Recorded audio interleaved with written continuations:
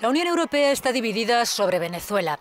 Oficialmente, los 28 han pactado una posición común en la que evitan reconocer al autoproclamado Juan Guaidó como presidente, aunque al mismo tiempo mantienen una posición muy crítica hacia Nicolás Maduro.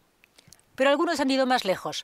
El presidente del Consejo, Donald Tusk, ha enviado un tuit en el que afirma que Guaidó cuenta con el mandato democrático del pueblo venezolano, mientras que el presidente Maduro no.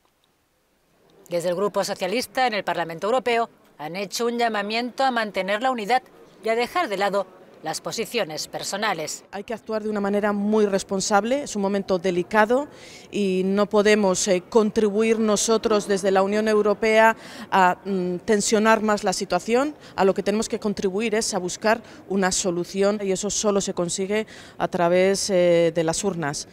El Grupo Popular cree, en cambio, que esta es una ocasión de oro para hacer caer a Nicolás Maduro y defienden la legitimidad de Guaidó. Yo creo que el que se autoproclamó fue Maduro y Juan Guaidó no se ha autoproclamado.